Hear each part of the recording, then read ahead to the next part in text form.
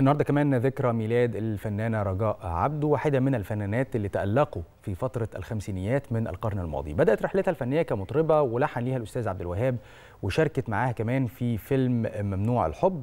اشتهرت أكتر بأغنية البوسطجية اشتاكوا من كتر مراسيلي. خلونا نفتكر مع بعض الفنانة الجميلة رجاء عبده.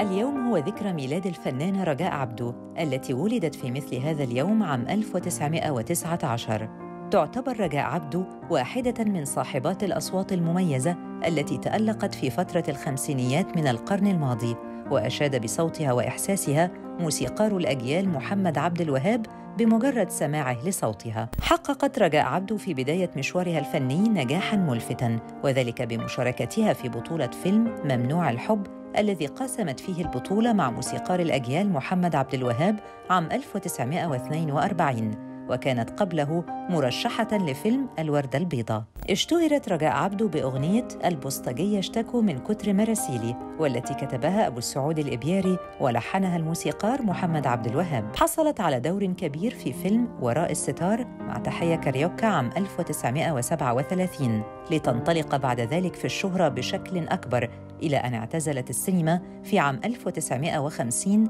بعد فيلم حبايبي كتير مع كمال الشناوي لكنها عادت عام 1977 بدور ثانوي في فيلم كباريه الحياة مع الفنانة مها صبري لكنها شعرت بأنها لم تعد بنفس المكانة حتى قررت الاعتزال بشكل نهائي. ورحلت رجاء عبده عن عالمنا عام 1999 عن عمر ناهز الثمانين عاماً.